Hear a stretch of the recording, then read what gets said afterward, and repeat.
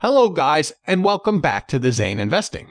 This is an urgent message for all AMC stockholders. We have been cheated, so I would suggest everyone listening to this conversation or seeing this video to consult a counsel. It does not matter who you are or what your view is on diluting or whatever else. Set aside everything and listen. Discuss Philip Lader. He became the director of AMC Holdings on June 8, 2019.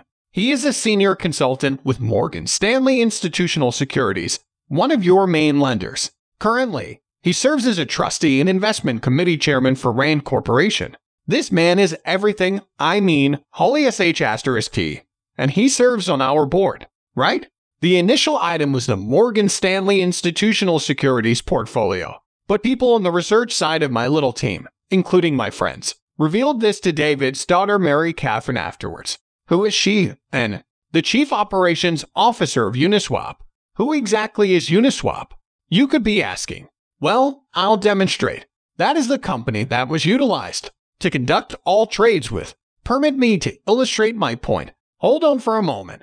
Everyone recalls Citadel's ties with FTC and all matter research from when I created this video a couple of weeks ago. Remember that we discussed the 8 quadrillion tokens needed to short AMC to death whose transactions are facilitated by Uniswap v2. There you have it. Therein is your link. You have a connection. This was an internal deception, led by, I can only presume Adam Aron was aware from the beginning.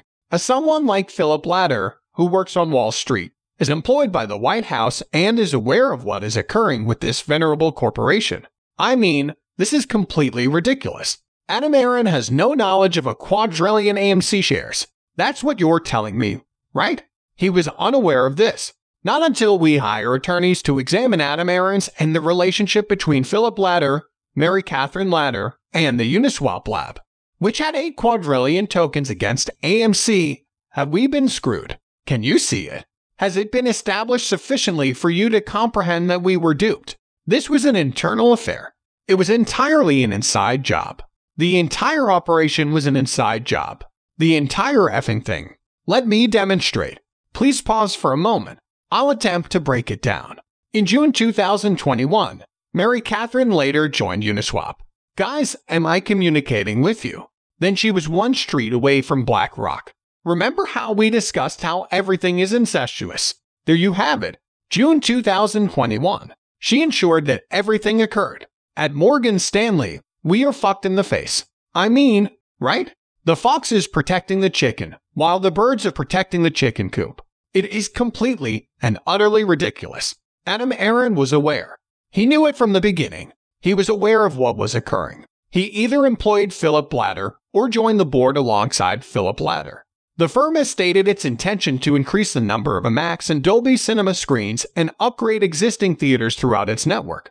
The cash increase and planned reverse stock split follow on the heels of AMC announcement the day before that it would no longer be negotiating to purchase theaters from Regal parent company Cineworld, which filed for bankruptcy earlier this year. That is, this is Judas. This individual is sexing Judas.